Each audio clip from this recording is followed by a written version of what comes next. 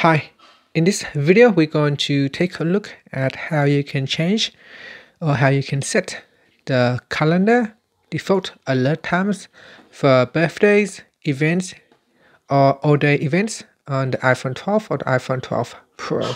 So first let's go back to your home screen by swiping up at the bottom of the screen. On the home screen you want to tap on settings. In settings go down and tap on calendar then go down and tap on default alert times. And in here you have three different alerts that you could uh, set. You have birthdays, events, all day events. If you want to change the birthdays event, tap on it. Now by default it is set to none. So you could choose on day of event at 9 a.m., one day before at 9 a.m., two days before at 9 a.m., or one week before. So select one of the options. I generally like to set maybe two days before, just that would give me plenty of time in case if I need to uh, organize, myself to get a birthday present. Uh, you don't want to leave it on the same day because you might run out of time to uh, go out and buy a birthday present.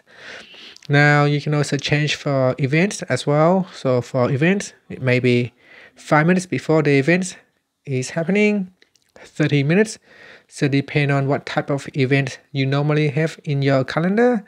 Uh, perhaps maybe just 5 minutes uh, alerts is enough or 10 minutes before the event uh, is enough for you to prepare yourself.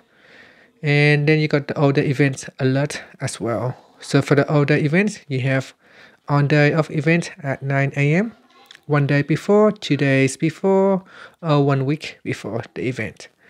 And that's it. So now we have set the default alert times for the calendar. You can swipe up and go back to the home screen.